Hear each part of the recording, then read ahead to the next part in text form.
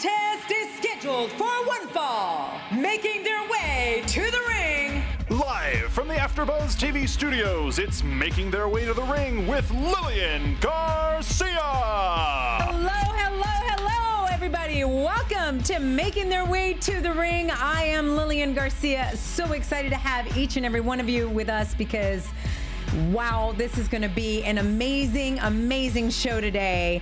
Uh, we've got none other than Trish Stratus. I got to tell you guys the whole story of how this came about. But first, I want to introduce you uh, my co-host for the day. He is the creator of AfterBuzz TV. That is where you see all of this, the beautiful AfterBuzz TV here in North Hollywood, and he's also the star of the Tomorrow Show. Please welcome Keven Undergaro. Hi, Lilian. Hello. I'm your inflata host. I love it, inflata host. Yes. Bring me in when you need me. I, love it. No, can't believe you got Trish. I got Trish. Can we get right to it? No, Seriously, we're gonna get right to it. So I got to tell you, so I sent. She was so awesome. You know, we traveled together for like seven years, um, but beyond that, we've been friends even way after. You know, she left uh. She she left in I think it was like 2006. I want to say. Um, and so here we are 10 years later and we're still friends. She came to my wedding. I went to her wedding. Like we've just maintained friendship, you know, through all of these all of these years. So she was so gracious. She was so excited when she heard about this podcast. She threw out a tweet congratulating me for making history as being the first female, you know, to have her own podcast from professional wrestling. And um, she, it was just like this oozing tweet and on Instagram and everything, just congratulating me. So I threw out a tweet to her and was like, hey, now I got to have you on the show. And then we talked, you know, and she's like, I'm eight months pregnant. I so badly want to be there, but I'm eight months pregnant. I'm like, I get it, you know, eight months pregnant. I think she's Right. about to pop. Um, so, but she's like, after the baby, no problem, you know. Next thing you know, the beginning of last week, all of a sudden, here it is. Well, Wednesday, she comes to LA without me knowing. And all of a sudden, she calls me. She's like, Hey, I hope you're not busy. I'm like, What? She's like, I'm in town. Surprise. I'm like, What? Literally uh, ran over to, she's like, come over here and pick me up if you want to do the, the show whatever. I've got like this, you know. It's, uh, so I, I'm just like quickly like making calls and all of this. And so we went ahead on Thursday and we um, taped the show on Thursday. It was just a beautiful surprise. I picked her up at the at the pier, the Santa Monica Pier. She had her mom with her, her two sisters, and her little boy Maximus. Now, her and her sisters and her mom have never done a girls' trip so it was it was pretty awesome that I was involved in you know this whole thing of like her wanting to come here and support me. Her midwife said it was okay for her to travel, so she came eight months pregnant. And she didn't mind being. I mean, I know a lot of girls are self-conscious about that. She didn't mind at all. On air. As a matter of fact, even some of the pictures that we posed for you know all of that, she was I got to make sure and show the baby bump. So so proud. And and I, you know it wasn't easy for her to get pregnant a second time. So it was really, I think she's really celebrating that. And um, you know, for me, hell, I've been trying to get pregnant. It's just not happened. So if I got pregnant, dude, I'd be all over the place with Yeah, my showing it off. Showing it. it off. So I think you get to a point where it's it's not about that anymore. It's about you're just so happy that you're able to get pregnant. Just as a guy's perspective too, is something about women who are pregnant are more beautiful. I don't know why. Right? Yes. Well, they have face. another It's a human glow. being. It's a glow they have. Yeah. It's another human being that's growing inside. I mean, Yeah. it's crazy. It. Just the thought of it and and all. So it was um, a beautiful friggin' day. Uh, we came here. It was so amazing that we went ahead and uh, did a two part. So not only are you guys going to see, not only are you going to see uh, this first part um, that was all about her leading up to the ring, um, which was an incredible story. Things that she didn't even know about herself. Um, there's actually a big breaking news at the very beginning of this interview that I can't wait for everybody to hear. Um, it's funny because I had known something that she didn't tell me not to tell anybody, and I thought it was all the, the news. And yeah, you guys will see. It has, I mean, I'll tell you, I won't tell you what the news is, but you'll get to know what the sex of the baby is. How's that? Whoa, Whoa. that's kind of huge. yeah. It's like you've been. I mean, already you've been breaking news. Yeah. Just with all your interviews you've done so far. Like It- it's and, and let's talk for just one second about Torrie Wilson last week. Um, you know, we talked about Torrie and her soul and her heart and just amazing person, and she was so vulnerable. And I really want to I want to thank you, Torrie, for for being so vulnerable and real and and open. She got very emotional when she talked about um, her purpose right now and her ToriWilsonFit.com, and I went online and I saw. And as a matter of fact, the other day I went out to the gym and I'm like, okay, I'm actually I'm gonna have this workout that I've been loving to do, the Studio MDR, which I've posted some um, Pilates and all, but I tweaked my knee a little bit, not in the class, but just out of class. So it's been a little bit hard for me to kind of do this class. So I was like, okay, I gotta I gotta take a break from that. I gotta figure out what else I can do. So I went into the gym. And I'm like bored. I'm like so bored. So I was like, you know what? Let me just check this out. So I logged on on Torrie Wilson Fit. I put in my email, all my information. Kevin, she has done so much work on this website. And I'm talking workout after workout after workout. You hit, it's a video, you follow along. If you want to work on this part of your body or that part of your body or this and the different, or if you want to do a full body, and she'll do a 15 minute workout or a 20 minute workout or a five minute ab workout. And so I just put, I had my little phone here. I just put my phone right there and just followed her along with the dumbbells and some moves. My knee never felt one bit. It was incredible. Kudos to Torrie. Great job. Wait till you see. So professional. I just know that Beachbody or one of those are going to look at this and they're going to be like, okay, we got to have her. And that's when she revealed, she got so emotional because she says, I went through anorexia, bulimia. I know what fitness did for me. I know it saved my life, and I want to do that for others. And so it was a really, it was a breaking story too. Even last week, I mean, I talked about how I was bulimic for years, and nobody knew that. Wow. Um, so yeah, we got really real and raw. Um, so you guys can actually, you guys can actually go to iTunes. Um, as a matter of fact, uh, we've been getting rave reviews. crazy. You know, you, you keep hitting the, the tops of all the iTunes charts, and uh, and again, it, I knew the show was going to do well, but I'm even a little bit humbled by what the press you've gotten, but then also the response you've gotten from the fans. Yeah, I think that I didn't realize how much they, they were hungry for a show like this, and also for a female's perspective. Right. So that was really, Well, I really think cool. also, you know, females just, we were talking about this off air, but tend to work harder and go deeper. I mean, Torrie would only put out a perfect video. You know what I mean? Whereas yeah. we, we guys like, well, we'll mail it in more. I mean, we're more apt to mail it in, I think. And I, and where you go so deep in these interviews, I just uh, you're doing so much research, and, and then you know them. Yeah. So familiarities, they they trust you. They're opening up to you. So that's I think why what the difference is with this show. Well, what I was going to tell you with with the iTunes, um, guys, if you want to see this, there's there's two ways you can actually catch this. So if you're listening to us, you're listening to us on iTunes, or where podcasts are available, or on YouTube, you can actually get to really see the the you know the guest here and. There's nothing like watching expressions and emotions and all of that. So you can see that on youtube.com slash AfterBuzzTV. My friend actually, what was really cool, he was telling me, because obviously I haven't watched my own show if I'm on it, he was actually telling me how cool it was that he could see the chat. People can, you know, they'll write in and all their comments, but you can see it along at the same time. And he said that was just fascinating. There was this whole online chat online chat thing going on at during the same exact time as the show. So um, definitely, you know, join in the chat today. I would love for you guys to join in the chat for sure with Trish and all. Um, and then make sure you subscribe. Make sure you rate us five star, please.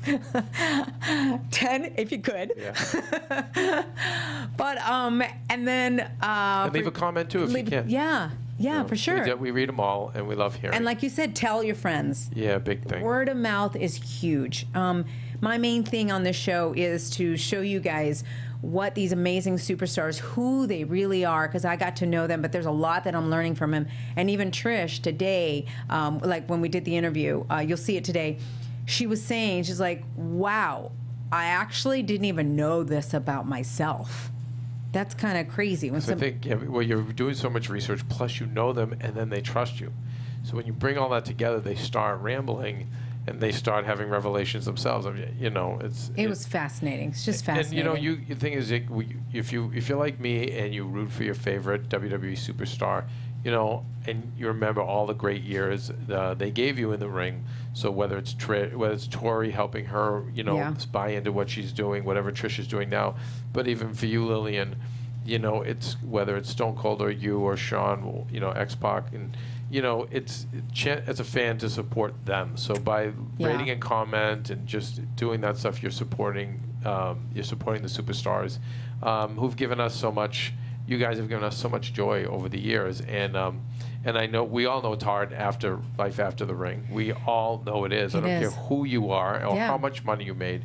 It's hard. So we just it's just great. I know Maria's a big champion of making sure you know people that do leave get to go on and live their life and do other Yeah. things. You know, and this is something I know you're just great at, and so I know for as a fan, this is definitely your chance to support. And I do think telling a friend is crucial. You know, um, huge yeah, right now. I, de- I definitely want to thank everybody who has been watching for sure and uh, and listening to us. Um, people are taking notice, and that's great. We're only three weeks in, so that's awesome. Why don't we? Because we got the Trish interview coming up. Let's go ahead and bring in Christy Olson with the wrestling news. We got a lot to talk about on this one. What's up, party people? Roxy Stryer here from The Tomorrow Show with Keven Undergaro. We're your twice weekly broadcast of one man's midlife crisis and the mad millennials in Star Trek uniforms that follow him. And I'm one of those millennials, Lauren Magrasso here. We've had some amazing guests like Russell Simmons, Illeana Douglas, and Craig Gass. Coolio, right? Christian Blatt in the house to tell you to go to thetomorrowshow.com to check us out. We're live every Monday and Thursday from 10 to midnight Eastern. That's thetomorrowshow.com. Be there or be square, whatever that means. Welcome back. This is your Making Their Way to the Ring news. Is a McMahon headed to Washington, D.C.? Well, you've all probably heard these rumors that Linda McMahon, who made massive donations to Donald Trump's campaign, would be receiving a position in his administration. Now, she actually met with Donald Trump a few days ago in Manhattan, and reporters were, of course, waiting for her outside to hear what went down in that meeting. And Linda didn't give him much, just saying, we talked about business and entrepreneurs and creating jobs. However, there are reports, Politico is saying that she is the top choice to head up Trump's Small Business Administration. So while the previous, she was previously considered for Secretary of Commerce, and that has been filled, but no worries, it looks like Linda McMahon will be a part of Donald Trump's administration. What do you think? Wow. Well, I you know I feel like she has always wanted to be in some sort of public office, or not like I feel. It's true. Yeah, she's ran She twice. ran. Okay, so what I want to know is how was she as an administrator at WWE? That's the biggest question to see how she would translate over into being an administrator in politics. I know that one thing is that Linda definitely gets in there and she just she works so hard because she's got so much passion for it. So if this is something she's looking for, trust me, she's going to put everything she has to do a great job. And especially because she ran twice and didn't get to make it, I think she's got a lot for herself. She's got a lot to prove. But when she worked at WWE, did you see that Oh, same? Oh yeah. Tell, can you speak to that, Lil? Oh, she was just. She was always there. She was, um, well, when I say always there, I mean, I know that she worked in the office, uh, in the headquarters, and she came, you know, backstage quite a, quite a lot. Very, um, just like I said, she cares so much. And even I was on the private plane with her, flying from some of the events from, I mean, it was just, you know, we had to go some, some of the events together. And I would see her like just working so hard on the plane. Um, and just, she. That's what I wanna hear. Yeah. Okay, she that's what I wanna cares. hear. She's in All it. She's all right, in it for sure. Well, awesome person too, by the way. She's just wow, incredible. That's great to hear. And another WWE woman who's putting in the work, Tamina Snuka is heading back to the ring. She has not been seen since April, undergoing surgery earlier this year to repair some torn ligaments. But she has been back at the Performance Center doing what she called in a social media post hellified physical therapy. However, she said that she loves being at the Performance Center and she's working hard, thanks her thanking everybody there. And she's reportedly going to be joining the Raw brand when she does return, and she could be back on the road with them as early as this week, reports say. So, Wow. congratulations and welcome back, Tamina. Congratulations. I love this girl. Tamina is God, she's so tough and so, I mean, amazing in the ring. And then you meet back. She loves to laugh, by the way. Um, I know we don't get to see a lot of that on the show, but she's got the best laugh. And that is definitely something I remember of her. And she's just a, an a incredible person. And But the thing more than anything is that she's told me she loves this business so much. Um, I can already see something with her and Nia Jax. Oh, yes. Think about it. They're probably couple up or something. I mean, they're relatives. I was going to say. Yeah, they're related. So I think it's going to either they, you know, they come together and they do something, or then eventually it leads to a feud against each other. I think there's just a lot of material there. I love the fact that she's back. Well, another famous legend's daughter is also uh, making some waves. Brooke Hogan gave a TMZ interview a few weeks ago, which you guys probably saw, where she said, Hey, you know what? My dad, Hulk Hogan, has been back in talks with WWE about possibly returning. She hinted that maybe it would be at WrestleMania 33. And then her father went on Eric Bischoff's podcast and said, That's absolutely not true. There have been no talks of my return. While rumors continue to be rampant that both sides are talking to each other and that Hulk Hogan may have even recently filmed some material for the WWE network in New York recently. So TMZ caught up with Brooke again just in the last couple of days and she confirmed, she said, I got in big trouble for that last interview. She was a little nervous when they approached her. And they asked her again, is Hulk Hogan or is he not in talks to return to WWE? And she said, I can't tell you that now. She also didn't say that her comments were untrue. And, you know, basically, Brooke's just trying to keep herself out of hot water from dad, I think.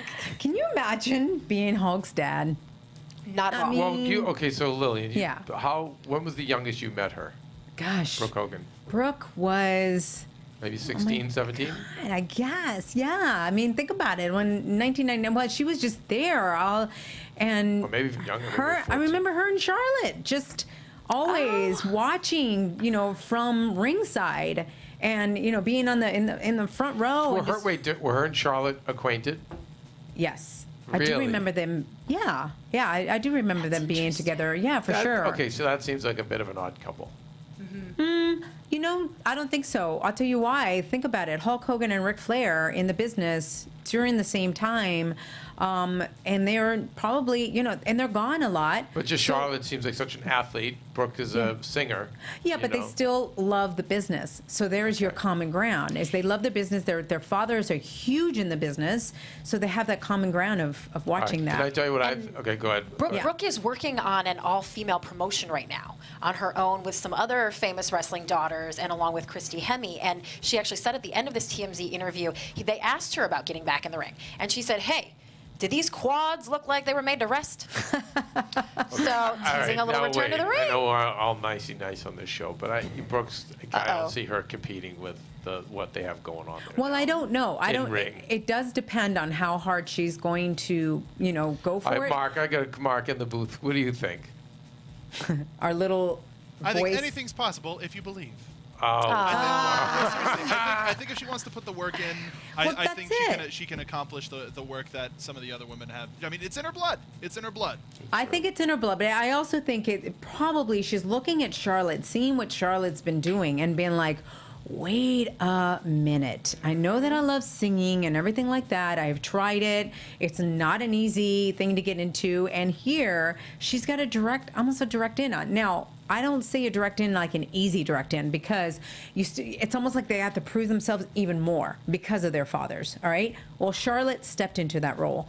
I feel that I do see that Brooke has got a, a bit of competitive edge to her, so I could see her wanting to do a really good job. And I think All right. you can only see what happens. Well, the news you obviously here- don't feel like no, that. I just I just see the level that's in there, and I think Charlotte is is a world class athlete.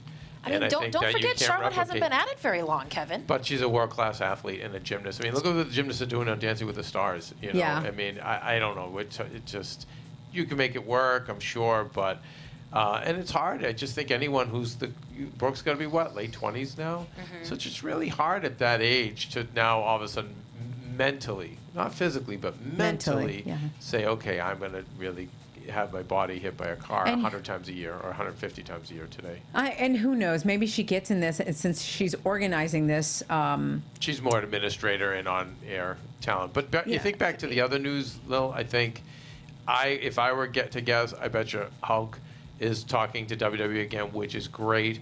And she spilled the beans, and he's doing what kayfabe, like he's staying in, you know, being typical old wrestler with Bischoff saying, "Yep, no, nothing going, nothing to see here." Right. Yeah. My I- opinion. I think it'd be great to have him back for sure. You think he is coming back though? I said it would be great to have him back. I didn't say he's coming back. Well, I have I'm- no okay, idea. I'm saying with this smoke, there's fire on that one. Yeah, I think that the fact that she uh, at the second interview said, "Oops, I can't say anything," it kind of tells you. God, you know, makes you wonder. In and probably if X Pac were here, we could he because he's he's a little deeper in with that click with Yeah. It makes you wonder if supporting Trump and the election and all that hasn't helped the healing. Maybe The process. in time. You know? I mean, I think that Well, they- if he's coming back, you know, it just I you, it makes you wonder. You got to remember too that I don't think there's. I think that all of that was done. I think it was because of this court case that WWE had to step away from him. That's what happened. But I think everything else, he'd already come back. Like everything had already. Well, been no, the care of. race remarks, the race. Well, that's what I'm saying, they- and and WWE had to be like, okay, we cannot associate with this right now. But sometimes when I I hear you know there's race remarks and all, um, you got to remember people get educated along the way, and they they start making friends and start seeing that wow maybe I wasn't supposed to say that and maybe I I've looked at the race as a whole instead of individuals. And that's one thing that I've gotten to know a lot of my friends um, from WWE and life that are African American I love them dearly. And but I can I can also see where sometimes somebody makes a blanket statement about something.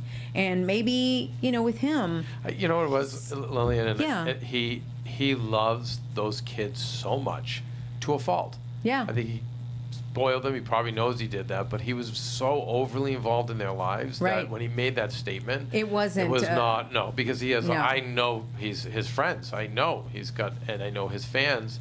He's got many African American fans, many many African American, tons of African American fans, and, and many and friends, American and backstage, I It- that's not how he feels. And Not I, at I just all. think it's he, it, those kids have you know he's Yeah. been a, such an overprotective and over-involved dad.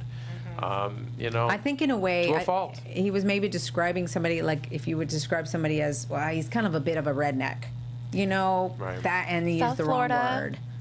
Right, Yeah. he used the wrong wrong word. I, I just know from people. I get what you're saying. People who know him very well were like said, no, that's not who he yeah, is. Yeah, no, not at all. So it'd be great to have him back for sure. And Brooke was asked if he will be lending any of his Gawker lawsuit money to her new promotion, and she said that she would like to do it on her own. Good. There you go. So, from uh, one wrestling offspring to another one that's not even born yet, Xavier Woods and his wife are expecting a baby boy. Yay! Coming in 2017. His wife, Jess Watson, posted on her Instagram a really cute photo with some letters that said Baby W, an extra stocking hanging from the mantle, and she said there's so much for them to be thankful for this season. So, congratulations to the two of them. Yes. This is joining a couple other New Day babies. Earlier this year, Kofi Kingston became a two-time Yep. father when Sure his did. wife gave birth to their second child. Yeah. So uh, Ryan Satin said Big E better watch out who he swivels his hips around.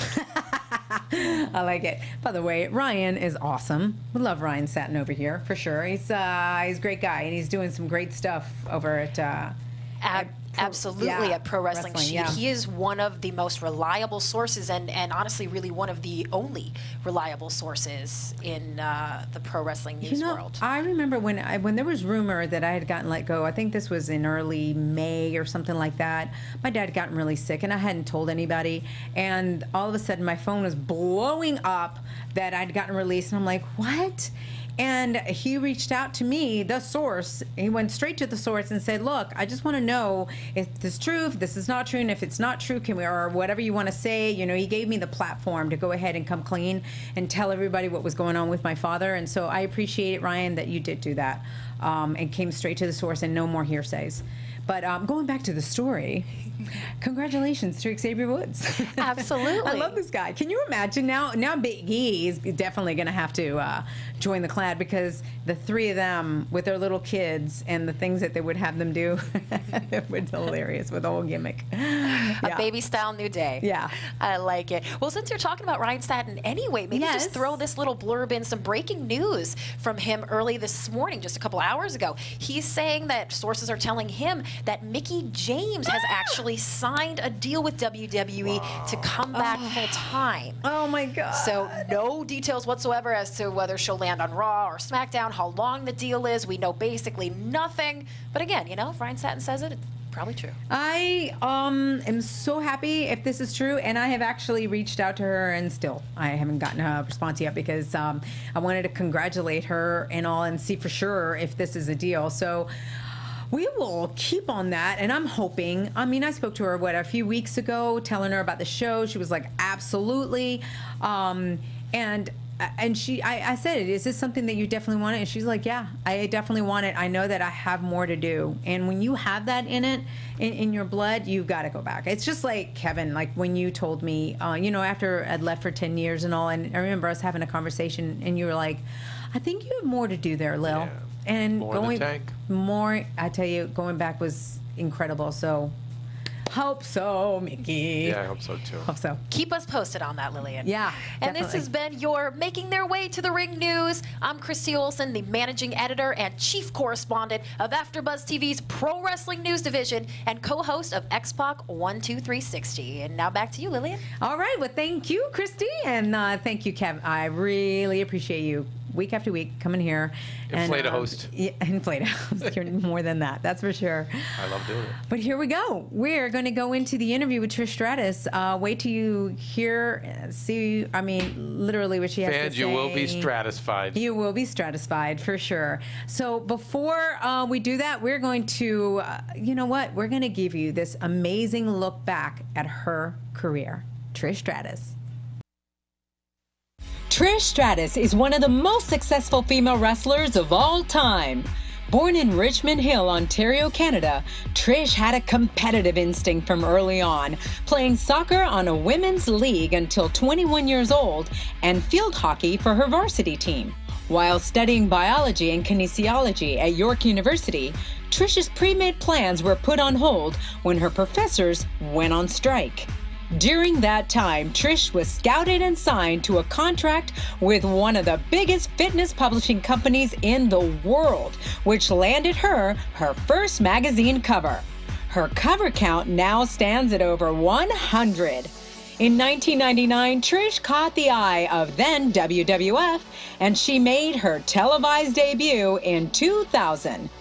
Becoming known for both her beauty and in ring skills, Trish would capture the WWE Women's Championship a record setting seven times. In 2006, after memorable feuds with Mickie James and Lita, Trish retired from the world of professional wrestling as one of the most decorated female superstars of all time. She was inducted into the WWE Hall of Fame in 2013, making her the youngest inductee in history. Since retiring, Trish has produced and appeared in several television shows and has made her splash in the action movie world. She most recently starred alongside Danny Glover and Dominic Purcell in Gridlocked. In the meantime, Trish founded her fitness lifestyle brand, Stratusphere, where she continues to inspire men and women to be their best selves with yoga and fitness products, including DVDs and wellness teas. Trish maintains her connection with her fans through her website, trishstratus.com, is a wife and also a mother to three year old Maximus while expecting her second child in early 2017. It's about to get real, raw, and inspiring with Trish Stratus. Wow, here she is. I mean, you saw her life, an incredible life that she has had. And ladies and gentlemen, she's in the studio. She has surprised me to come here. I sent her an invite and she accepted. So welcome, Trish Stratus. The power of social media. Thank you. Wow. I'm so happy to be here. I honestly like I I would not like this is an amazing opportunity and I just uh, to share it with you and share this this stage. Um, it's a blessing. Girl, you make me want to cry right now, seriously, because I can't believe that Should we try is to get you to cry on every show? I know. That would be every, every show. has anybody has anybody uh, been able to tell already that that I am a crier in a way? It's it's because you have genuine emotion and it's wonderful. You know what? I I remember sometime uh, somebody telling me, "Hey, don't you know? You should hold it in a little bit more or something like that." And then all of a sudden, I'm like, no, it's me. It's Why? you. Be you. Right, be Right. me. it works. But let's go back to you. Yes. So here you are, LA. I sent you an invitation, and I know you're eight months pregnant. I'm about to like this way. What do we do? Check this out. This is my big belly bump. Yeah, my baby bump. oh my gosh. Yeah. And, and you were okay to say, "Yep, You I'm going to get on a plane." Okay, so first of all, we were we were talking about you know I got to do this somehow. I mean, I wanted to support you for sure. I knew that, and I didn't know how it was going to work because I'm in Toronto. Um, Skype, it's just so impersonal, especially for the connection we have. That you know, Yeah. and I want to reach out and touch you. I agree. but um, yeah, and then it was just like, you know what happened? It was like, okay, I'm gonna have a baby soon. I'm gonna have like a family of four soon, right? Like that's like that's a big to do. So I thought, you know what? I got I called my sis. Well, first my mom was my, my she's my my go to, my best friend, and even like while I've been traveling for work, she comes and I just bring Max. Like I've been bringing Max for all my work stuff. So I said, okay, if I talk to mom, she said that would be awesome. I said, and then I said, okay, let's make it like a girls trip, right? So I talked to my two sisters, and we did, and we haven't done a girls trip like um, let me th- ever. Ever really? Never? we just you know what i'm like ron and i are just we're like we're freaking frack we're always Right. together like we would so yeah we just have we just never got around to it you know like everyone you know life goes on get people get busy and- Yeah. so yeah so getting my sisters getting everyone together and i thought okay this is like this is it so i You thought we'll make a little trip out of it I actually feel very like lucky and blessed right now that I kind of instigated. you did so you brought us together yeah like it. it's nice it really is nice you know it's like No, that's good. You know, it, it's um, I, I've done that. I've done a trip with my sister before, my mom, and all of that, and and we did a family, the four of us Yeah. together, and all, and it was something that we will never forget. Yeah. It was so so Yeah, special. So like we've done big family trips, and you know, Yeah. we've all been there. But just to do the girls, we never did that, and to bring them to LA was kind of cool. You know, my one sister had been here before, but yeah, I mean, and, and just to have these last moments with Max, like I feel like I'm just eating them up because time's a ticking. How does he feel about? Uh, I know we're gonna get you know Yeah. to that, but I just real quick, how does he feel about the fact that he's gonna have a little sister? Oh, are we telling everyone I'm having a sister? Oh, I'm so sorry. Is this breaking news right is- now? You just broke better than my water breaking, but we broke news. Yes. Um, I'm having a girl. My apologies if I did that. I don't That's know why. I thought you let everybody know. no, we have So- not let anyone know that. But are just- you okay with that? Yes. No. Seriously, are you Yes. okay with that? yes. Uh, we can break the news on this. Sure. Yes. Yeah? Yeah. Oh my Yeah. God. So we're having a little girl. Well, Yes. I'm actually happy that you're doing that because later on you'll see why I'm actually Oh. happy that you Oh, broke the news. you have something to think for me about you. um, you know what? We're so like we're so. I mean, it's a blessing to have a child. You know, in your life is obviously a blessing, but to have a girl and a boy is just really magical. I mean, my mom and I are super. I know. I know you're really close with your mom as well, but I am. There's that special connection. Like you know, you kind of look at it like she's my best friend, absolutely, and moving forward as you get older, like. I will be there to take care of my mom, right? Yeah. And and you know, my like for me, like Max is my my bud. Like he, the boy is actually, I think he's like in love with me. That's like what little boys do, right? I mean, eventually his number one gal will be his wife, but with my girl, his number one gal will be Yeah. me, right? No, You know what I mean? mean? 'Cause true. You, you always end up taking. You're always there for your mom in the end, right? Little Trish. Yeah, I mean, that is so Trish, cute. Yeah. I can just see her coming out of the womb like this with the point of the finger. that might hurt. yeah. Oh, all right. yes. So before we're gonna get to all of Okay. that, but you know what? I want to hear because here we go. I don't even know if if all of you know that for seven years you and I traveled together. Yeah. And we were on the road week after week. Uh, we drove from city to city together. Um, and it was so special for me Yeah. to have that opportunity with you. And we just instantly bonded. And I do want to talk about how, Yeah. you know, when you came in. But one thing that I realized is I started going, wait, and this is the reason I wanted to do the show. I started going, I don't know that much about her. I know your life in WWE and what you Yeah. went through and you know that. But I mean, you growing up, um, I didn't even know you were born. In, I mean, I knew you were born in Toronto, but I didn't Yeah. know what city. Right, because you, know, announced me as that, but right, yeah, It's, those little things Yeah. that I'm like, we traveled for seven years. Well, you know, of course, it, it would be like that world is so crazy. So what we'd get in the car, I mean, yeah, there'd be the, the talk would stray, but it's like it would. It's so like in the moment, right? Oh my God, look what just happened tonight. What'd you think? How did I do? Like you know, all that stuff, Yeah. right? It was a new world for us, and I mean, it was a crazy, crazy world. Yeah. So there was crazy. plenty of and things. I to talk can't wait to talk about Oh my that. gosh. But I do want to get because it's the whole thing is making their way to the ring. So I want to hear your journey. I want to Mm-hmm. hear your journey as you're you're born in Richmond Richmond Hill, Yeah. right in Toronto. You know what's funny is like, I'm billed as Richmond Hill, right? Okay. And and it, it's it, Wikipedia. Well, of course, if it's in Wikipedia, it's right. But I actually grew up in like a little town, like just just in sort of what do we call it? I guess you Compton here, Compton? right? It's not not a good area, right? Yeah. That's where I grew up in Toronto, just a little outside of that area. You're like- saying Richmond Hill's that? no, or Richmond Hill was like when mm, there was a, a phase. My, my father was a real estate agent, and you know there was like we were like with the Jeffersons. We were moving on up. Like we moved to Richmond Hill, and Richmond Hill was like it was beautiful. It was the place. It was when I thought I moved into a mansion. I Yeah. mean, it's, it was a larger house, and we grew up in a condo. You know what I mean? And so, um, yeah. So that so so no one really knows that actually. So it's kind of interesting how I always and I just Already two things are breaking the news. she's good. Love it, I She's love it. good. She's she's. Don't you make me cry.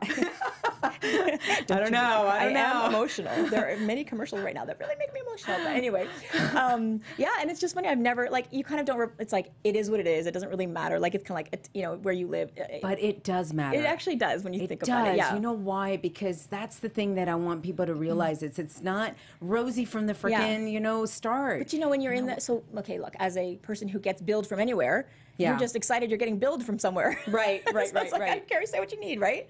So yeah. So I grew up in Flemingdon Park. Flemingdon right? Park, Flemingdon okay, Park, and okay. um, it, yeah, that was, and I didn't realize it because when you grow up, you don't know if you're in a good part of. This is just my, where I live. Right. These are my friends. This Yeah. is my world, right? Um, and we did know when we moved to Richmond Hill that like we were moving into a mansion, like a big And house. how old were you Um, I was point? ten years old. ten when you okay. So Yeah. for first ten years. you were- Yes. Okay. Oh no, sorry, I was ten. I was grade six. What are we in grade six? Yeah, I think we're eleven. Yeah, somewhere like that. Right? Okay, so I think 10 you had five. Like. What do yeah, I yeah, know? something like that. There's some math equation there that we're not going to do today. Um, but um, it, there was a song, um, and it was like, you know, Maestro Fresh Wes. Do you know that? Maestro Fresh Wes? Do you guys know that song? You get that guy, an artist? No. You knew? I don't. Canadian artist. Okay. There are some songs that some Americans will know. You guys will know. Okay. Um, but um, so he says like, you know, growing up hard, da da, Flemingdon Park. I'm like, what? I, I grew up in the ghetto. I had no idea. So I, I now I really had no idea, like, because that's all you know. That's so your when life, did you figure that out in that, po- song? Yes, years In that later. song? Yes. And then I look back, I'm like, I guess there was there could be indicate but what do I know? I go to school, I play with my friends, I'm living with my family, I go visit my relatives. I like I don't know that this is bad. It wasn't like there was gun violence that I'd noticed or so it wasn't like that. But th- I'm sure there's areas like around the corner from my building that maybe there was Yeah. incidences and stuff. But yeah. There so just wasn't all the shiny stuff, right? The Yeah. shiny neighborhood. it, it- right. the shiny stores. The, the, like eh, now yes. you, have seen it all, so you compare it. You know what? yeah. Yeah. Yeah. So All right. So, how was life before you moved? How was your childhood? What would you say your childhood, like your best memory from your childhood? Um, my best memory, my child, my childhood was, was amazing. Um, like family to me is like number one. It has remained number one. When I retired from wrestling, it was due to family. Like every decision I, I've made, probably the most important decisions in my life have been made based on family decisions. Um, like having a baby, that important, you know, involves family. Yeah. um, you know, um, I had so there was so my dad had fi- uh, three sisters, and um, there was seven of us cousins, all the same age. So my sister and I are 11 months apart. So which we get a kick out of because um, like my mom used to dress us the same, and we tell the story. We think it's hilarious. Some people don't. You guys might not, but we would be dressed the same, and so people are like, oh my god, they're so cute. Are they twins? And they say no, and they're, and they're not actually. Oh, how old are you? And she's like, I'm eight. How old are you? Eight, because we're the same uh, age for a month. And we, Right? we thought this is hilarious. Like, we thought it was the funniest thing ever. That Right? is cute. We're really getting them with this. Right, right. We still do it. We're both 40 right now. I love it. I love it. yeah. So um, anyway, so so I had my sister was a year apart, right? So then I have two boy cousins who were the boy cousins were the ones George and Jason. They were the instrumental in getting me into wrestling and really t- turned me into a toy- tomboy because I was I wanted to be like the boys. This is what you know. And so they're one's my age and one's Christy's age. They're a year apart. Then I have another cousin, same age as me. Her brother's a little bit older, Jen and, jo- and George. And then my other cousin Olivia, um, who was my age. So we're all the same, you know, 76, 75 age. This is when we were born. So I always had family, always had friends to hang out with. We always had like we were always together every. Like so every holiday was great. Like you know what I mean? And Yeah. we did things like um, you know we had a band that we called ourselves. Um, Wait a minute. Breaking news. She had a band. I love I had it. a band. We were in a band. Yes. Oh Um, my gosh. I sang and it. danced. You Yeah. did? Oh yeah. Oh, That yeah. is so great. And what was the name of it? Um, the Zodiacs. I love and so we were all um, horoscope, like the birthstones, right? Yeah. So. I was um, Topaz. Topaz, So we were the name yeah. of. So yeah. So you know that. So that was we would perform for our parents, and um, that we would do like just just great things. And I valued like being always having someone to lean on, always having friends to be with, and, and you know someone to to just loved ones around. And we did things like we would we used to make artwork. We try and sell it in around the neighborhood. Like we had these ideas like this, like just like you know we could make some money off of this, and we would do that. And just people would sometimes throw us a couple bucks. you know what I mean? yeah, it. Entrepreneur already. Yeah, yeah, oh, yeah. It was in me like from way young, absolutely. Like, you know, I'm like, guys, we can let's just try. Let's just try. What are they gonna do? could, were They're not you like the, the leader? Were you like the yeah, leader? there was me and my other it. cousin. Yeah, the two of us were the leaders, and we. St- I think. I, can I say this? We still are. I think we are. The Yeah? two of us. Yeah. I mean, we're kind of like the go-to when it's speech time at weddings and, and things, and you know, we're kind of the go-tos. So it's kind of cool. Do you feel like people are just born with that, or do you feel like there's something that happened to you early on that you just I think that's something just you're born started. with. I think. Yeah. I think it's in you. Like I can see like shades of Max. There's already like, and you can tell when people are sort of shy kids and when they're not, you know, or they're out, you know, just extroverted, right? And Yeah.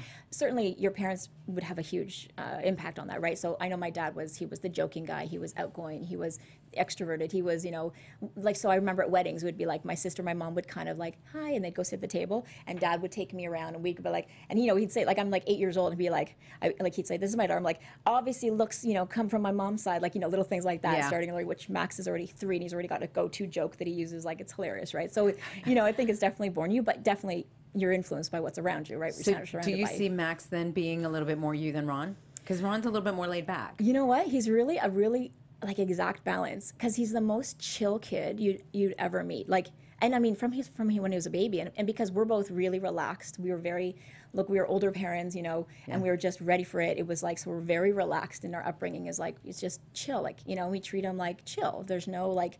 There's never like this anxiety moment. There's never none of that ever. And I just try to do that because I'm very aware of that energy is always kind of felt by them. Um, but at the same time now, as he's so you know, they as, as at, at two when they're two is really when they start their personality starts coming out Yeah. and they, they throw big words at you. Like the other day, he gets scared. He goes, "Oh, God, so you startled me." I don't know if that's good or bad, but I get a kick out of it, you know. That's like, yeah. yeah. So like, little yeah. So he's influenced by me as well. But then he's around me so much, so he'll say things that I say. Like I'll be like, I'll like, like, holy smokes, you know. He'll say it like he'll say it back. So there's that influence as well, right? Isn't it crazy how you do influence your kids, and Oh, all of a oh, sudden the things that oh, come out of your mouth, you're you're like, ah! saying. "Oh yeah, I said that." Like he'll, he'll go, oh yeah, Right. like, where'd you get that? And that's and Oh, I'm- as. I'm saying it, I'm like, okay, Yeah. that's where you're getting from, yeah. so in your move, Yes. how was it? Was it traumatic? Was it exciting? Was it like did you settle right in? It was exciting. Yeah, it was exciting because, like I said, it was like we knew this. We knew that Dad had done well. It was real estate was booming at the time, um, and so we just we knew it was it was time. We were moving up, and like I said, we thought it was a mansion. I mean, it, it was a big house, but I mean, it was just like to, from what we grew up in. You know, it was Yeah. like wow. Um, and it just and it was an adjustment, you know. But great kids went to a small school only because the area was just a, like a you know it was one of the fastest growing areas, yeah. And um, so a lot of young families were moving there. Um, and yeah, we just um, we fit right in. I mean, luckily my sister and I are were a year apart, so we had each other. So there was none of that like didn't feel oh that new kid thing didn't really feel that because we actually it was grade five and six. We were in a split class, so we were in the same class when we first got there. So we luckily had each other. And then we just we dove into sh- uh, soccer was a big thing for us. We played soccer all growing up, and so we had that kind of you know you always gotta have that family um, camaraderie when you have a team that you're um, playing with. And um, yeah, so it was a pretty smooth transition. It was it was good times for us. So you played soccer. Let's go back to that. Yeah, How oh, many- I loved it. Yeah? yeah, yeah. Soccer was my thing. I, so I was a compl- like I didn't do dance. I was not into that. Like you know, we my dancing we, we don't it doesn't have. It doesn't, I just don't. Yeah. Every, oh my god, the, the odd time. Let's just say the odd time I went out because I didn't go much on the Yeah. road. Right? It was like no, no, no. I'm good. I'm good. I'm I really no. I remember you like in your seat. Just kind of like Like, I'm, I'm gonna. Oh, I have this alright. rhythm. Like I get it. I'm can grooving, dance I can groove, seat. but I don't need to. no, I don't need to do that stuff. But you did see me dance my wedding. Yes, I did see you Yes. dancing. You did a whole production. So everything I do is a production. Everything you do, everything. It really is. I've, Yeah, I've come to learn this about myself, and so have you guys, and so have you. But um, you know, we, we um, Ron, so he's not a dancer either. So we're like, so there's this first dance, and I was like, but we like to like do things. We like to make splashes. We like to do things a little different. Um, so we spent a year going to, so which was nice because I was on the road. So we spent a year going to dance lessons, and you know, it was nice. You're on the road, as you know, you're barely Yeah. home. So to, for us to come home and have this thing that we're doing together, and it's like silly, goofy, and challenging, and, and, and exciting because you're you know conquering something. Um, it was it was nice, and then we put this a tango together. I so we put a that. tango together, and like. I had like three hair changes, two outfit changes for my wedding. I put this tango red dress on, and did the tango. So and MTV uh, Diaries was actually following me. Yeah. So actually, we have that documented. We should find that. Oh, we totally have to there. find that yes, for Yes, because that was awesome. So we did that, and then and then the girl. Well, as you know, like I'm still I'm so blessed. You guys were there. Like like my friends, my WWE girls were there at my wedding, right? So I look back and then it's like that's amazing, right? I know- Lilian sang. I asked Lilian to sing. I sang know. me And I want to talk about all of this. Okay, we'll get back to I- this later. You're yeah, too old yeah. right now. Go back. No, no, no. Yeah, yeah. Go, go, go yeah, back. yeah. Get young. because I, I'm I'm just so intrigued. Yes. Again, I've told you I'm so intrigued with the the the journey of somebody. I mean, when you were in school, was it easy for you? Did you get bullied? Did you fit right in? Were you one of the popular girls?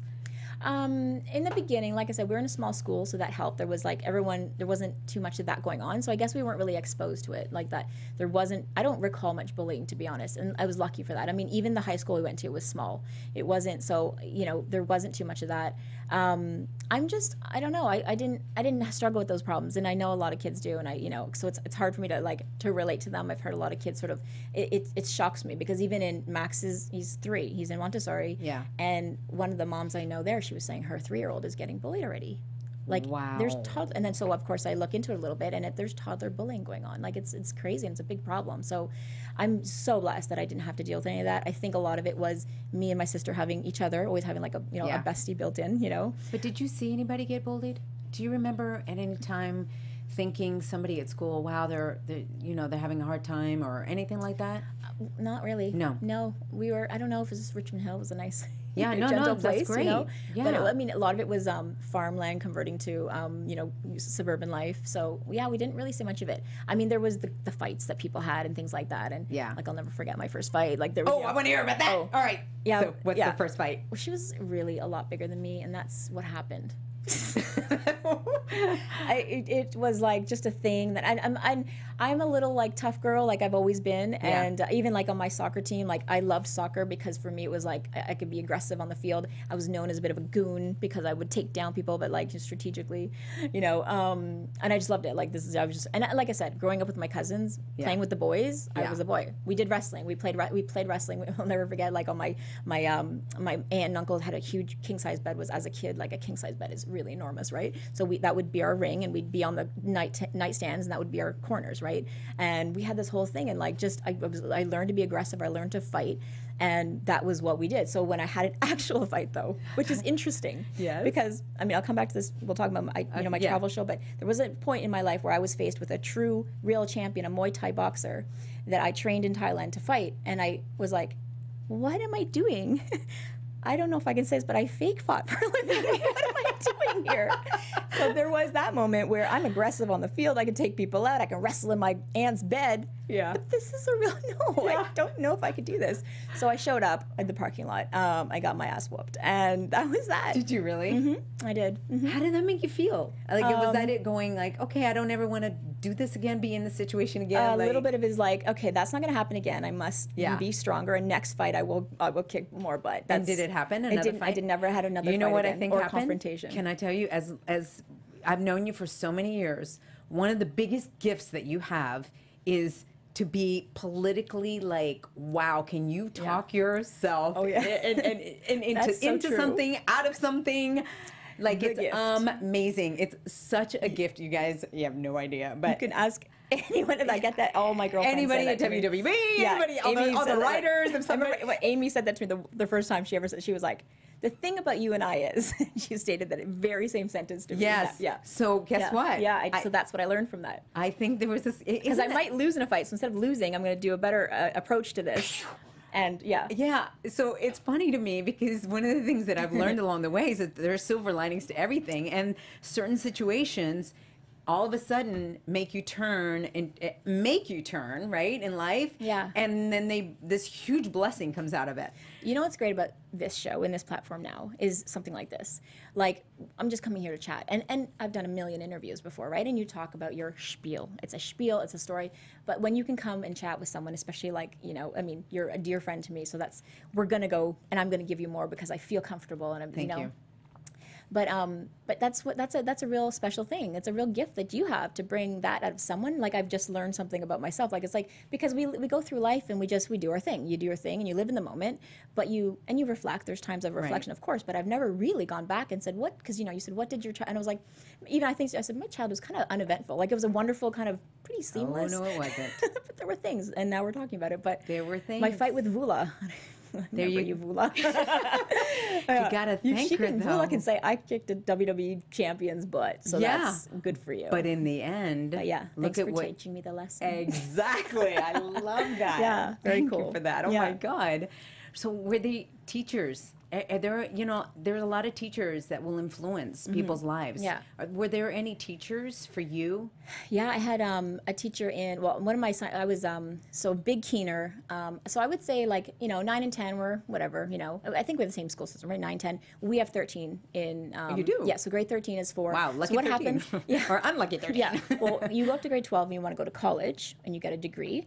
And then you go to university, you have to go to grade 13. It's like, you got to get extra smart to go Okay, to I university. got it. I got it. Okay. and you get a degree, right? So there's a little bit difference of the system there. Yeah. They've now taken out 13. It's an optional thing that, anyway, it's, Okay. it's, Canada, it's Canadian thing. Yeah. Um, we do things a little different sometimes. Um, but anyway, so I, I guess nine and 10 were just, you know, fun, getting, you know, just being a teenager. And then, um, and, and for me, just sports. It was about playing sports. I played soccer. I played, um, uh, actually, I just played soccer. And then when I moved to another school in grade 11, was like, okay, I wanted to go to med school, and I knew this is like I'm going to do everything I do from this point on counts, right? So schooling counted, the recreational activities I chose, the volunteer work I did, all these things counted for my future. So I was very aware of that. And I'm, I'm- you know, I'm a bit of a keener in everything I do anyway. Yes, yes. So you can imagine, I was Yeah. like that one. But it was kind of neat because I had a very diverse like group of friends growing up. Like I was, I.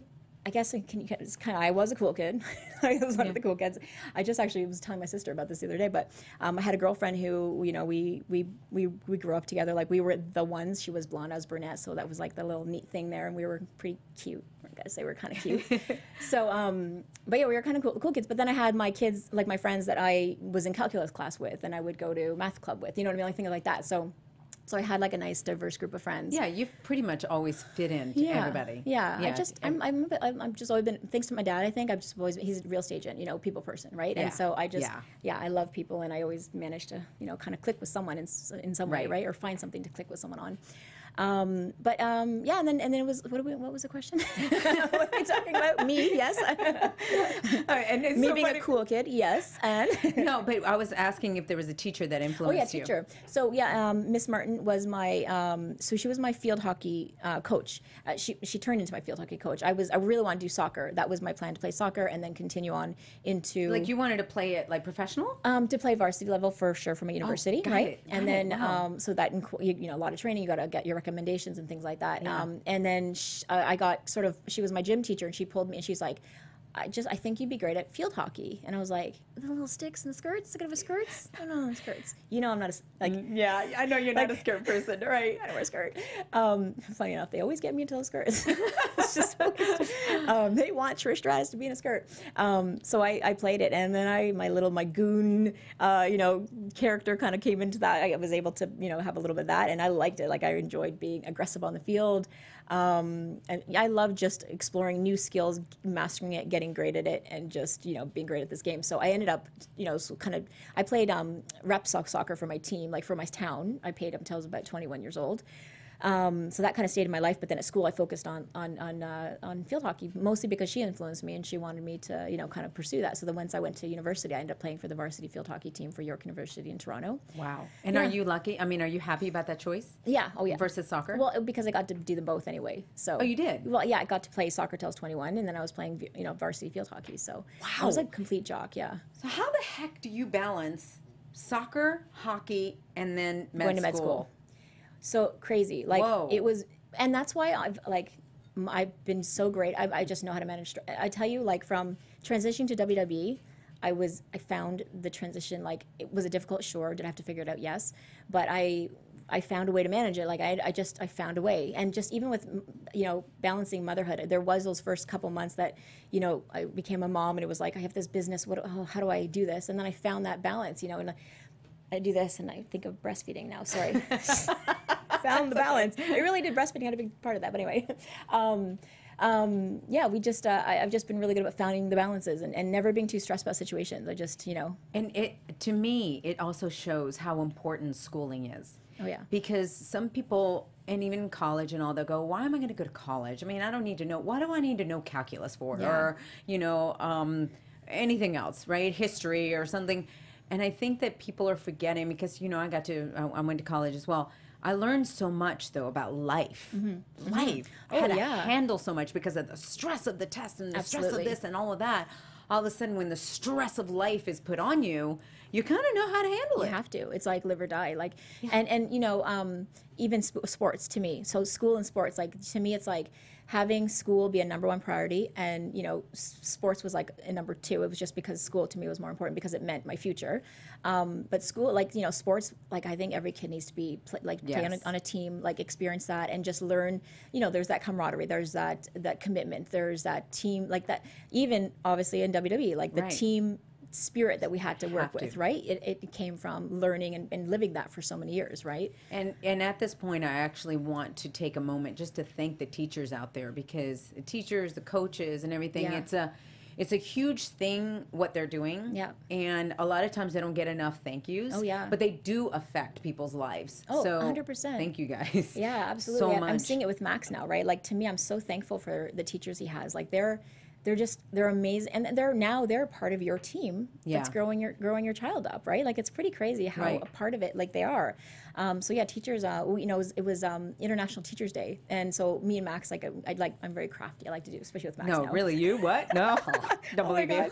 You remember that? Yeah, of course, you know everything about me. Yes. Um, but um, so we, we I'm, I'm in like I love using mason jars and making cool things out of it. But we made this vase. We put we put these appliques for flowers, and we put flowers, and we brought it for his teachers. And I don't think anyone else even acknowledged it was you know International Teachers Day. And then I did a post about it. But it was like because this is so important. I'm seeing Yeah. it. I'm seeing the influence, and I'm so grateful for it. You know, it's very important. So yeah, it's it's number one priority. And I me. know it's got to be hard because the kids nowadays, especially, I've seen them. They kind of I've lost the respect in a way for teachers and the authority and all of that. So Mm-hmm. not in the Montessori um, school system. This is the best thing I've ever that's done for him. that's awesome. Yeah, it's but really what I want to say to kids out there that Yeah. are watching this show, Yeah.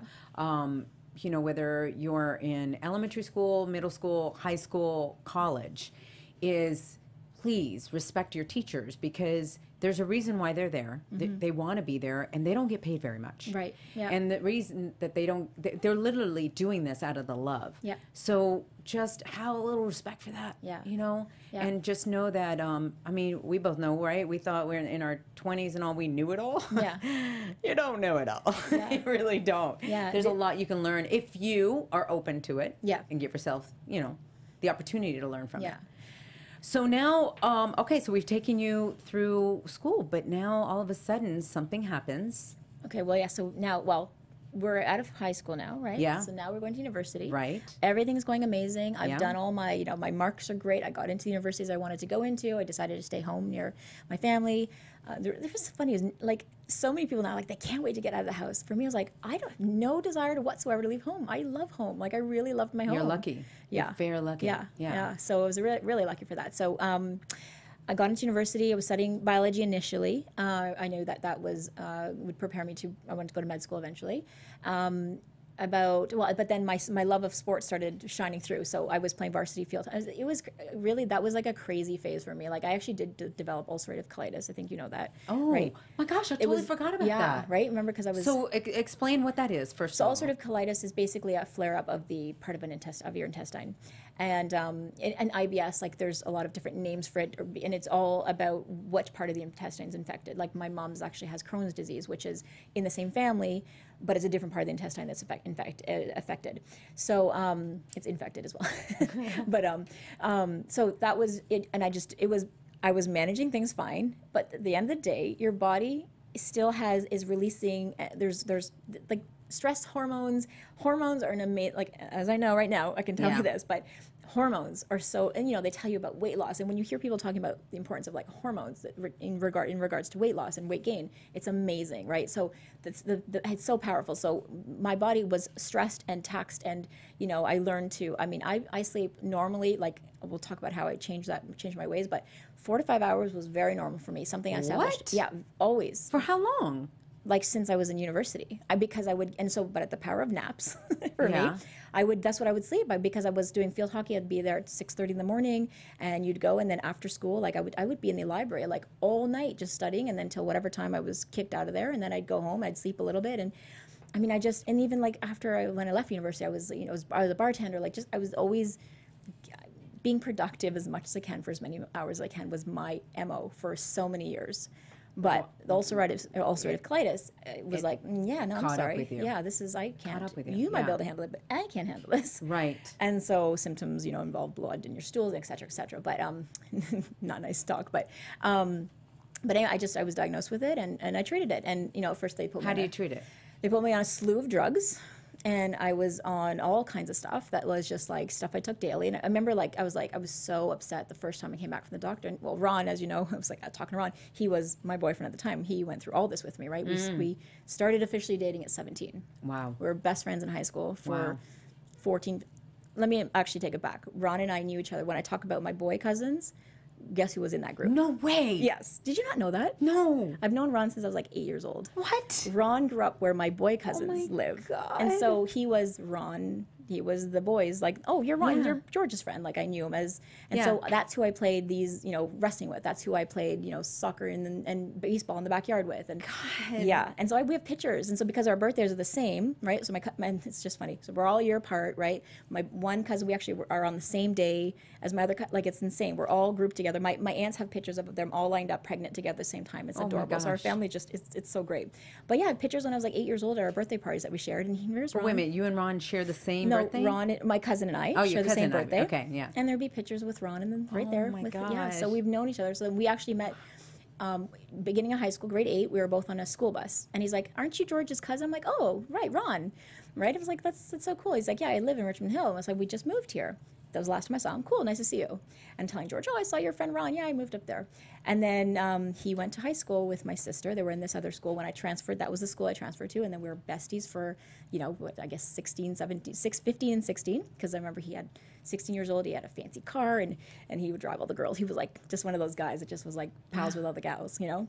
Um, and yeah, we just became really, really, really close friends. For I mean, he would tell me about his girlfriends, I would tell him about my boyfriends, and we just got so close that eventually, like you know, it was just it was bound to happen. But it was a, an adjustment. It was like I don't know if like we're friends. I don't know if we are that yet. You know what Yeah. I mean? And then we were we were just I think destined to be together. Like we are, and and the foundation of why we've had this amazing relationship for I think we're coming up on 25 years. That's amazing. Right? Like That's we've. oh, It's funny when people are like, "How long are you married for?" It's like doesn't even matter. Yeah, it doesn't. Yeah. like it is a decade. We did celebrate our 10 Yeah. year, which is I guess neat. But Yeah. we've been out together 25 years, right? Or 24, 25 years. God. So yeah, so he, you know, so so he, he went, went so through he went through all you. that with me, right? So I remember when I when I got diagnosed, I went home to him and I was like, like I just can't because to be dependent on something was a big thing for me because I don't depend on anything or anyone. So now that I need to, in order to be, you know, good and healthy and do what I got to do, Yeah. I depend on these drugs, and I did not like that.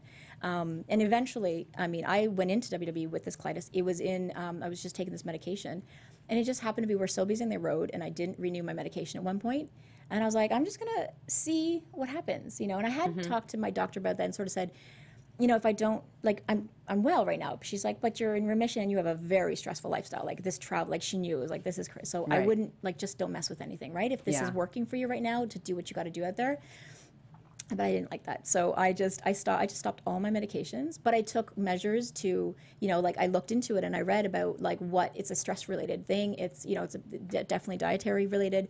And because of the fitness background, that was something that I was I knew how to do and how to approach.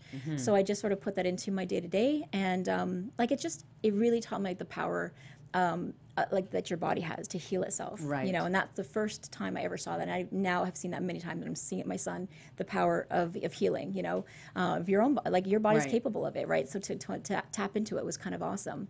So how many years did you like go with the medication? So I would say about three or four years. three, or four years. Yeah. Okay. Yeah, and then finally just dropped everything, and then and then was in remission for years. Didn't have any symptoms whatsoever, and Wow. completely symptom free. Um, I did after my other pregnancy.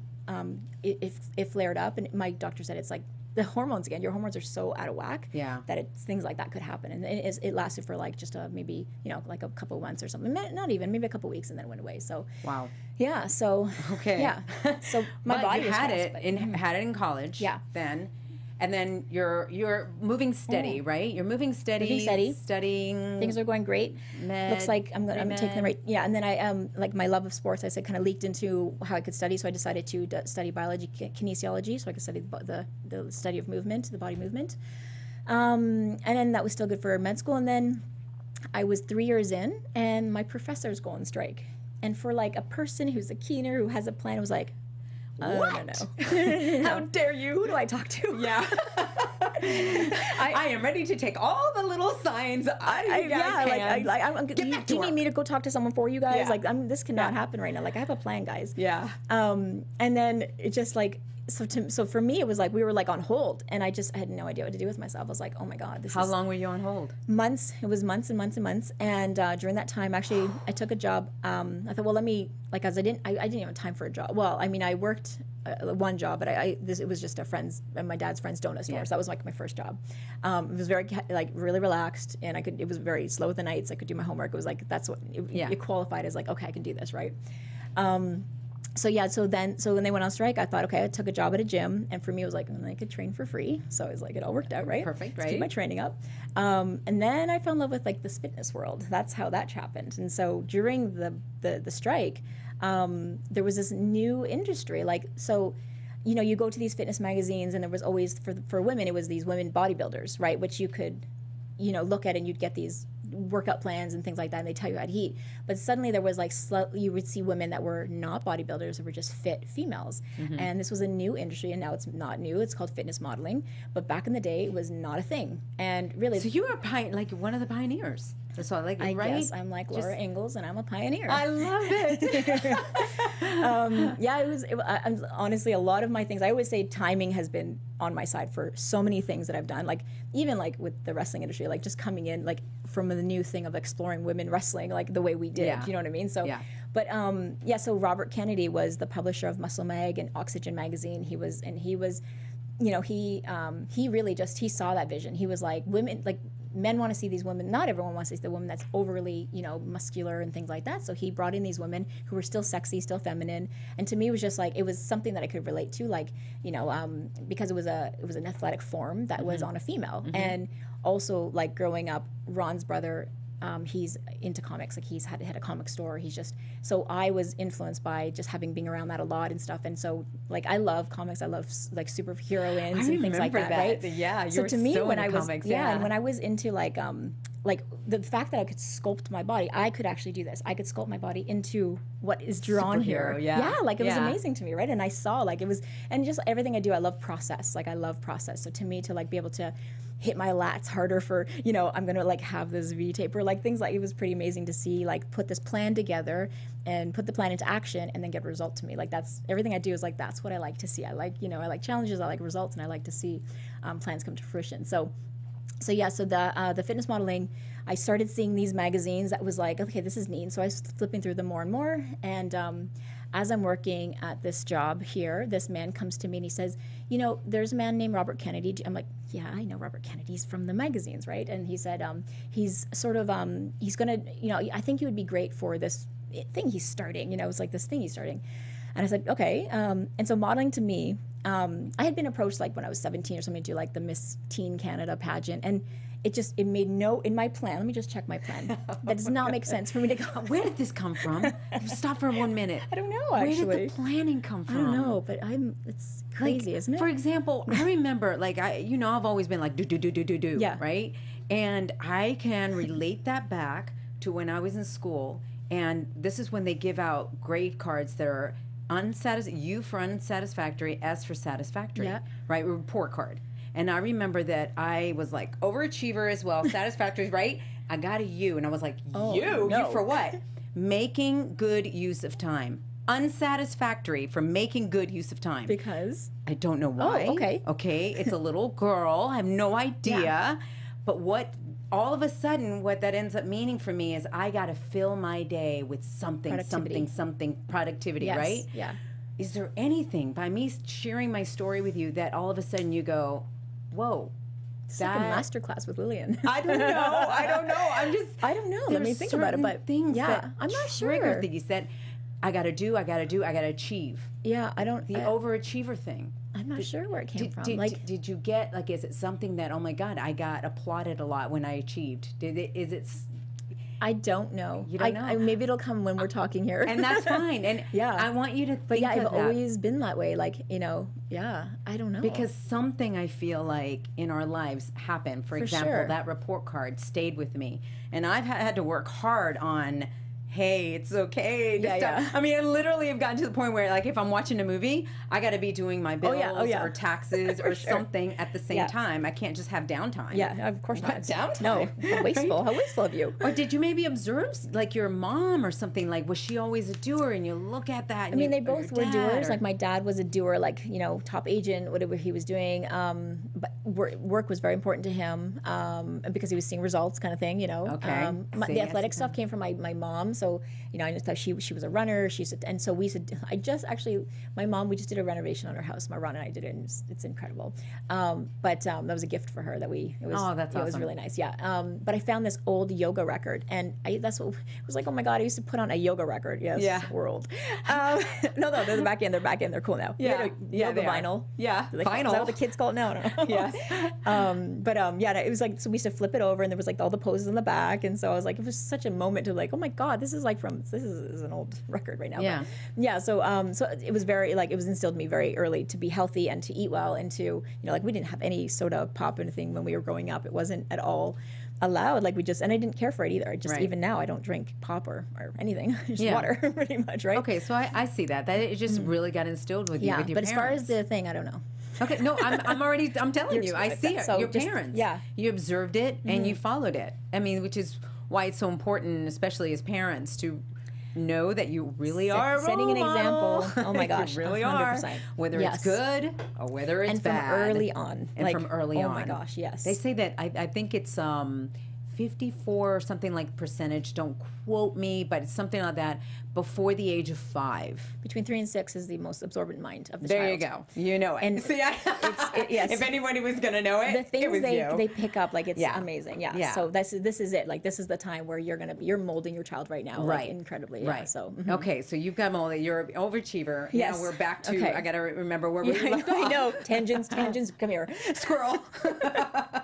okay yes cool um, yeah so we're coming back to i'm getting approached from i'm talking about this Yes, fitness the model you'd be great for it i was like okay well i mean so yeah modeling didn't make sense in my plan right this this um Right. so i never pursued it but right now i was like huh, it's a thing I'm, i could do it in my spare time you know what i mean it's Yeah. something i can do in my spare time so and the fact that like um it was it involved this you know an athletic thing i could sort of I could present an athletic female form that, that maybe is not what the other stuff was being presented to people. You know what I mean? Like it wasn't achievable. This massive bodybuilding woman was not achievable, nor was it healthy, right?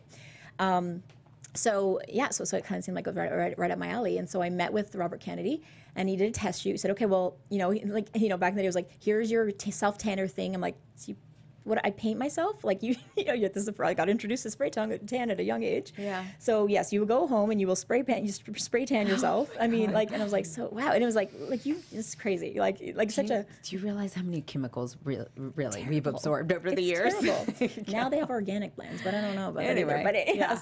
yeah, like okay, go yeah, paint yourself with this dark coloring, which definitely does help with the definition. It though. does. I know. yes, I hate it, but just it does. and come back and we'll um, do a test shoot. Have you have your like? Can I see some of the photos? Have you done any photos? I'm like, uh, well, this is me and my sister. Uh, like I'm nothing professional. I have nothing that would even show that I potentially have any potential to model, whatever. So um, we did it for, and, and so for me, another thing. Okay, we got this thing. Uh, and my motto now is, you, I think you've heard is preparedness meets opportunity. Yeah. So to me, it was like, and he taught me that. So, and this was after this is after this incident. This is how he taught it to me. So I went home, I studied the fit, and he basically said, uh, oh, so the test shoot went well. By the way, so the test shoot went well. Um, pictures were great. I should pull those out. Those are like my first. Oh There my you God. Yeah, I should definitely pull. I haven't seen those in like, like the hair was like down Okay, my you butt. gotta, like, you gotta, you gotta like send them to me if you don't mind, so I could share them. Yeah. In the show. Okay, let's do that. please. That would be great. that would be so great. like there's so, so my first photo shoot went well, and he says, you know what, I would like to take you on your first professional photo shoot with other fitness models, naming names. I'm like, like I know those names from the magazine. Um, I'm going to take you down because what he did was Who are some of the names? um, there was um, Courtney Dean was there. Um, Stacey Lynn was uh, was a big fit, uh, fitness model at the time. Uh, Vicky Pratt, who I believe she lives here in LA now. Oh, that's cool. um, She was uh, great. She's doing a lot of acting now. She's Yeah. um, she's great. Um, and so I knew these names from the magazines, and so I knew they'd be there. And, and there was another girl. I can't. I think she was a new girl as well. Yeah. Um, and so it was like, wow, this is like huge, right? So I went home, and luckily I had the time. You know, you're the universe made the time. Whatever you want to say. no, seriously. Thank you, Strike. Yeah. Thank you so much. yeah, honestly, right? It's silver lining. you know, I'll, I'll come back in a second, but we did a press conference one time in Toronto for some WrestleMania 18, I guess it was. So we're all at this press conference, and the mayor was there, and he goes, "So I guess you have me to thank for your career." And I was like. I'm looking. I'm like, I'm sorry, I have no idea what you're Excuse talking about. like, I don't Yeah. recall. The, I don't even. I've just met you, Yeah. uh, sir. And he's like, he's like, remember that strike? And I was like, oh, I don't think you want to take credit for a school strike. Don't let anyone hear you.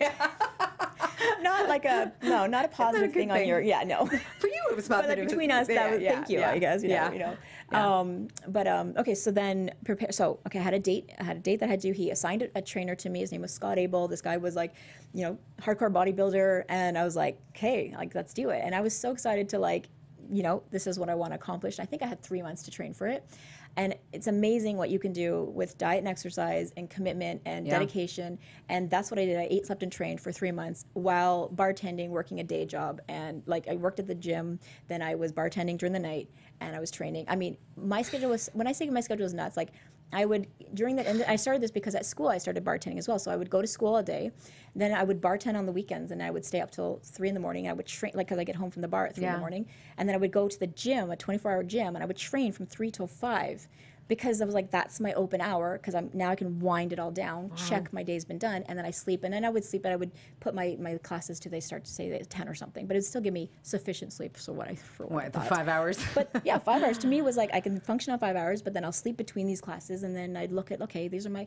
That's what I God did. So almighty. so that's why motherhood hit. Like I was like, what are these women complaining about? Right. I'm up all night anyway. It was it was actually an easy transition for me. Like we'll see Yeah. how she is, but Yeah. Um, so anyway, so I trained, ate, slept, got ready for this photo shoot. Did my very first photo shoot. It was in South Beach, Miami. Um, it was the first time I'd been there. Like it was like pretty awesome, and, and I was like, oh my god, I'm doing this with like a pro- considered a professional photo shoot, right? Yeah. With these professional women, and um, it went well. Did as far as I knew. I mean, I so what I did it too. I, in those three months, I'd studied like literally studied the poses, looked in the mirror. Like there was there's an art to bodybuilding and to showing the musculature and, the, and the and the physique. So you know, there's certain poses, and as you know them, you've you know seen those faces and Yeah. find get your pose face, find your angles, etc. And I studied it, and that's like everything I do. I tackle it like that. You know, you have to study it thoroughly, and then in order to you know kind of maximize the potential or the opportunity.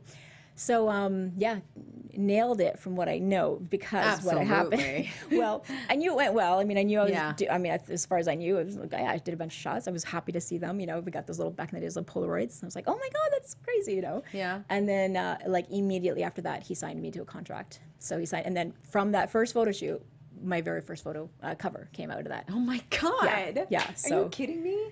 And so he said to me, he goes, I'm going to give you, he goes, this is what I, when I see you, he says, preparedness meets opportunity. He goes, you were given an opportunity and you prepared for it and you conquered it because you came in completely prepared. Um, and that's what I've done with everything, every Yeah. opportunity that I've ever been presented with. It's like, you know, and I feel like, th- and it became my model for my life because a lot of people say, oh, you're so lucky, or this, oh, that happens to you, and this and that. But it's like, no, everyone has opportunities, but you, sometimes you're not aware enough to see them. Right. And so when you open your eyes and you, and you, you need to be keenly aware of, of the opportunities that are being presented to you, and then you can maximize them. And you need to prepare for them. There's no way around it, you know? Yeah, so many people. I've, I've heard that phrase. I've heard it a little differently, where Mm-hmm. it says luck is when prepared uh, opportunity means preparation. Oh, that's- right. yeah, mhm. Because a lot of people are like, "Oh, you're lucky." Yeah. No, you're not lucky. Right. If you weren't ready for that moment, if you hadn't prepared for that moment, you wouldn't have been able to handle it. You wouldn't have been able to achieve it. Yeah. Right. So it has nothing to do with luck. Yeah. So I, I think it's awesome that you seized that. Yeah. And then how, how many years did you actually were you a fitness model before WWE comes knock, knock, knocking on the door? So I did my first photo shoot in 97. Um, my first cover came out in 98. At that point, I was well on my way, had a bunch of photo shoots. I mean, it was like the industry was so like boom, like it just, but, but booming like as in we were the girls. Like there was a handful of us that were doing it. You know, like we're doing this fitness modeling thing now. And then within a couple years, it was completely oversaturated. Women who weren't even training but just had nice big boobs. Yeah. were saying they were fitness models. You know, it Yeah. just that's what happened. Um, but um, so what you could say might have happened in the wrestling industry too. People kind of make that parallel. If you say like there was girls who were doing it, they were training, they were wrestling, and they were looking hot at the same time, and then there was a phase where maybe there weren't as many trained women but looking hot women. Right, right. so anyway, so it happened in the fitness industry. But so we were just like, um, you know, one time I heard, which is kind of cool. Someone said like we were like, you know, the the supermodels of the day. There was like the Cindy Crawford and Linda Evangelista, Naomi Campbell. Like we were the supermodels of the fitness industry, which was kind of cool. Amazing. Yeah. So because we did a few shoots, shoots where it was like just the girls that were the And right? was it good girls. camaraderie? It was great. Oh yeah, completely. Like great girls, and like because it- you know, and much like why you have that camaraderie in WWE, we're doing, and it's a tough lifestyle. Like there's no like you know, oh you look so good. Yeah, like I work really, really, really, Right. really hard It's to look eating good. and it's everything, but training it's your entire 24/7. life. It is Right. twenty. Yeah, it's twenty four seven, and so you eat a certain way, and you, but you, you know. Coming from so for me to come from like fitness and kinesiology background and to be able to like apply the knowledge I had learned in school now towards myself into being using it for you know it was pretty awesome because as you know we can go back but I didn't go back to school things took off in my fitness right. industry things were going so well like it I was was just going to ask you about that, but do you regret that? I- And, and no. not not that it led you to this, because obviously it's been a great. Do you ever wish though that you could finish? No, no. I feel like there was a reason that, that I- got as much as I needed to get out of it. That you know, I was put there Yeah. for the connections I made, the networking, it, but and and when we talk about the importance of education, I feel like I, I, I grew so much as a as a young adult. Right. You know, in my university years, um, I learned you know about the real world. You know, and so the experiences I got out of it, I, I don't need a degree to say this is what I got out of it because as you know, people have those degrees and don't Yeah, they don't do do anything, with it, right? So I gained all I needed to gain out of those three years, um, and then I guess somebody wanted me on a different path. Yeah, but you So, took it, um, you seized it, Yeah, and, and, you know, awesome. I was trying to balance the two. I was, you know, like the art of balancing, but it just wasn't working out this one. yeah. Which I had to like step up and go. And I remember having a big talk with Ron. I was like, man, I'm getting all these opportunities. I mean, I was taking coolers to school. So then, so on top of like I said, my my you know going to the um, field hockey in the morning, then training or school all day, and then staying up but late studying. So then you're squeezing in this lifestyle of like eating like this and training. I was like, this is not like, and then trying to work jobs. Just it wasn't working. I had to be aware of that and say. And of course, I was 22 years old at the time, so it's like I looked at Ron and said, like, what do you think? And he goes, like, try it. Like, you can always go back to school. Yeah. Just like see what. Maybe it's just a little thing that's gonna last a couple months, right? You never know. And Yeah. it's like, okay, let's. And and my whole thing, I needed to him because I didn't want to feel like a failure. You want to be like, I'm leaving this. Like that means I'm dropping. I'm not completing this. Oh my god, that's killing me, right? Right. So to leave it and say like, I'm okay with this because I'm gonna do this. But then that also made me like, but I need to like really master this. Then you know what I mean? If Right. that's my Make it worth it. Yes. Yeah. You know, and my parents were cool with me. They were like very. They've always been really supportive of me. If that's what you want to do and you loved it, and they were, you know, they were tickled by like, wow, you're on a, that photo shoot. This is a cover. This is kind of cool. This is my daughter. You know what I Cover mean? number one of how many now? 100 plus. I think we're 100 two or three or something. Oh my God. I've, I've done two. So- I think I've done two. No, you, don't- you don't, yeah. Hey, but hey, Yeah, I've done two. Exactly. Yes. Yes, I yeah. gotta pull those out somewhere. But I started early. That's all. That's why. Yeah, yeah, I right. started early. But it was booming. I mean, we were being sent all over. We were doing autograph signings. We were doing photo shoots. So basically, the WWE people were like, "This lifestyle is tough." I'm like, "Yeah," but I got a good little, Uh, you know, uh, introduction to it. for Yeah, sure. like 100. percent So I learned to interview. I learned to go and do. Like I started suddenly being, you know, asked to do interviews and, and things like that. I was a coveted, uh, you know, personality in Toronto to do fitness uh, segments and things like that. So, um, I mean, I'll never forget. I, I remember when I got my first cover. I'm like, what? What? I have a voice now, right? Like, there's a reason for me to. So my whole thing was because you know I'm not that keen on the like bombshell thing. Is like really, I'm not really a bombshell, but but, but you look at these pictures. Oh, okay, yeah.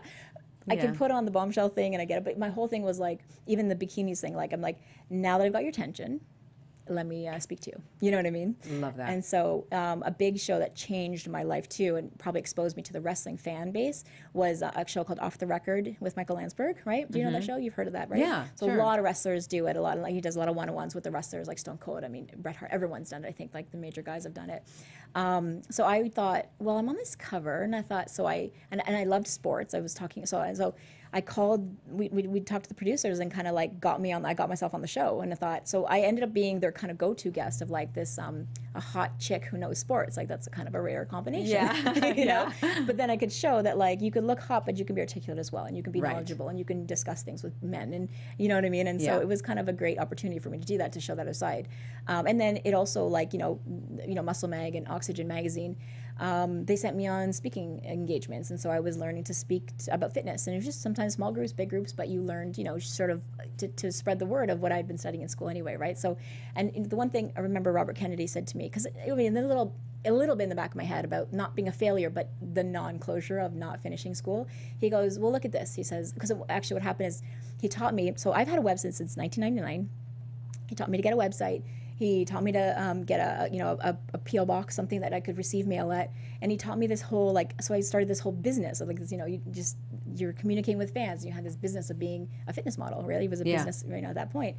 So I had a you know personal like, all my professional correspondence went there. You know, so I had my office like at a very young age. You know. Yeah. Um, and he said to me, goes, so I had like tons of fan mail, like, and I would bring it to the office, and you know, because he was really instrumental. You know, one thing I got from him, and he passed, you know, at 73, a few years ago, um, he passed, and he was just like, um, he was one of my mentors. Like, he really taught me, of course, you know, the business of fitness, but he also taught me to, you know, achieve my potential and sort of like brought a lot of stuff out of me, like saying, you don't think you realize, like, not every woman can do this. And, and I'd be like, because, you know, when you do something, you, like, you know, you take it for granted too, like the way you sing, go karaoke with this girl. Very lucky because not everyone has that. You know, like we take it for granted sometimes what we have or what we're able to do and things like that. Or like, you know, you know, you're so flexible in yoga. It's like, oh, that's not normal for people to bend that Right. way. Okay, I didn't know that. You don't know that because you're not. You don't know, right? There's no comparison sometimes. Right.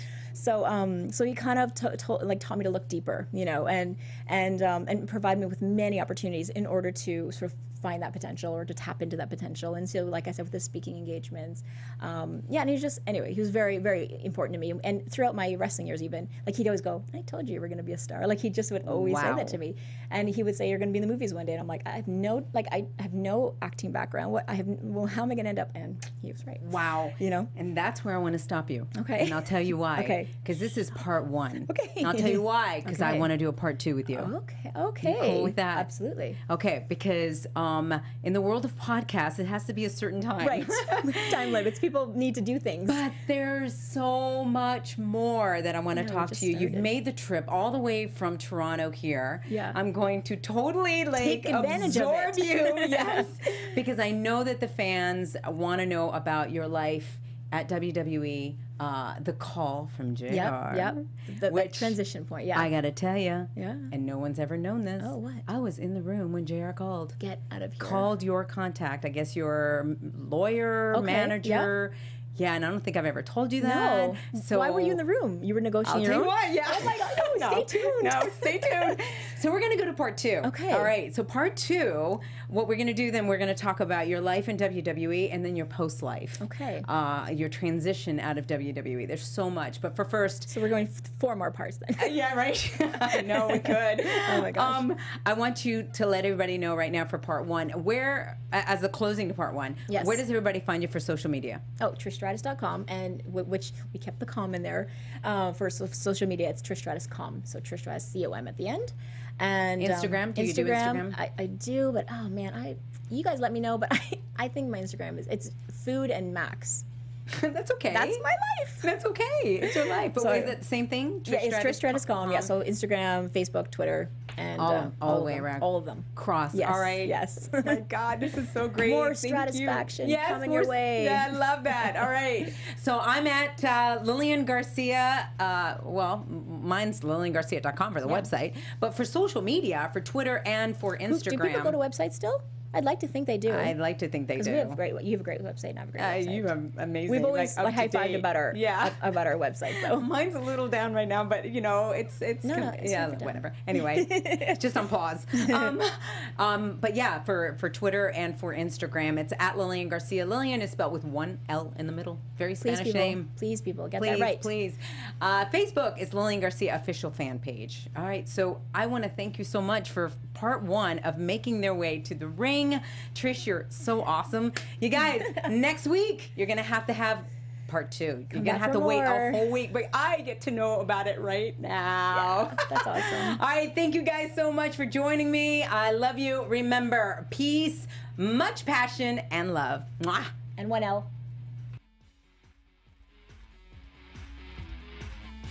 From executive producers Maria Menounos, Phil Svitek, Keven Undergaro, Lilian Garcia, Mark Donica, associate producer James Frank, AfterBuzz Wrestling News correspondent Christy Olson, and the entire Making Their Way to the Ring staff.